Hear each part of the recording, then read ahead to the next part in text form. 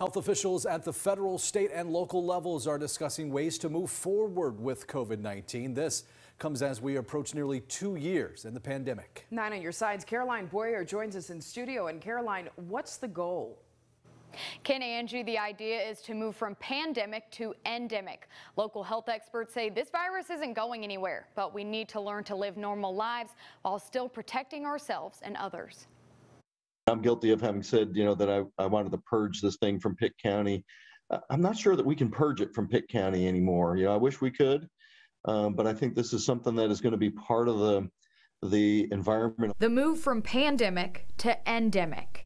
I'm ready for it. It's something being discussed at the state level. This virus and its variants will continue to be with us for a while but we're getting better and better at dealing and living with it. And now at the local level. We have to learn how to live with this, you know, have reasonable lives, go about business in a reasonable, safe way. So, how do we get there? Pitt County's health director says part of the transition is up to the virus. The evolutionary pressure on a virus like COVID is to become more transmissible.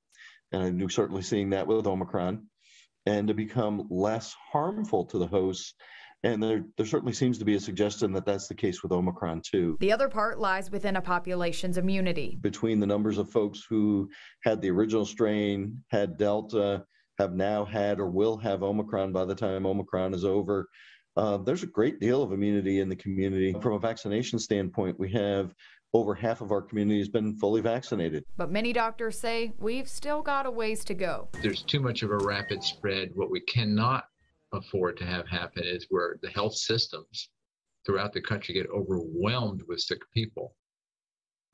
Doctors say they're glad officials are having these conversations because this level of effort is unsustainable. But they want to emphasize this pandemic will not end with the virus disappearing.